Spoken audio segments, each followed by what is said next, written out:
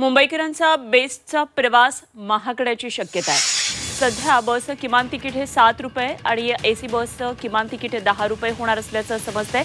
आर्थिक तोट्यामध्ये असलेल्या बेस्ट प्रशासनाला मुंबई महापालिकेनं दरवाढ सुचवलेली आहे आणि बेस्ट उपक्रमानं महापालिका प्रशासनाकडे तीन हजार कोटींची मागणी केलेली होती. मात्र बीएमसीनं पैसे देण्यास नकार देत बेस्टची आर्थिक स्थिती सुधारण्यासाठी उत्पन्न वाढीचे पर्याय सुचवलेले आहेत. आणि त्यामुळे लोकसभा निवडणुकीनंतर बेस्ट बसच्या प्रवाशांना दरवाढीचा झटका बसणार आहे.